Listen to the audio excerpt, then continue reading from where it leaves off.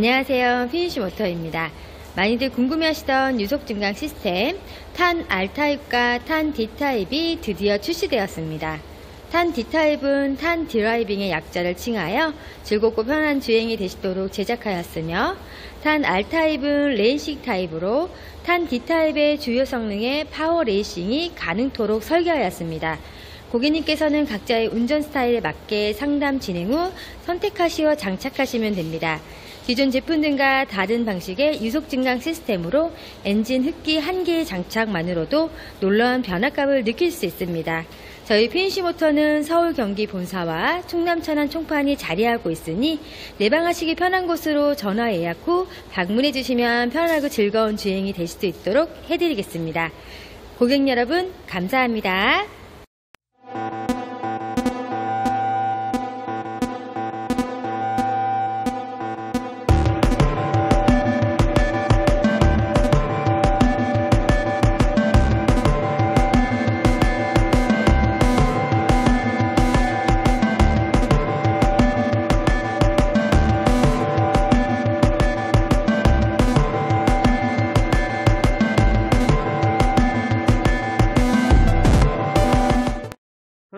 아, 어때요?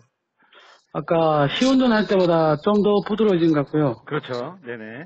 그리고 고속 100km, 예, 정속, 100km 정속 주행했을 때, 네. 전에는 RPM이 2000 올라갔거든요. 네네. 근데 이번에 올 때 보니까 1800에 계속 곧 1800 되더라고요. 네, RPM이 떨어진 만큼 연비도 네. 될 겁니다. 그렇게 운전하시면. 예. 아이고, 다행입니다. 하여튼 많이 부드러워졌어요. 많이 부드러졌죠? 예. 효과 많이 보시고, 예. 일 사업 번창하시고요. 예. 네, 고맙습니다. 예, 사업 잘 되고 대박 나세요. 네, 고맙습니다. 네, 수고하세요. 네 네. 분들이 아니었으면 저희는 오늘 이 자리가 없죠. 자, 영상이 지금 전께 녹화가 안 된 것 같아서 다시 설명드릴게요. 이건 산타페 CM이고 몇 년식이라 그랬죠? 7년씩 7년식이고 어, 키로수는 이제 시- 얼마예요? 11만 11만.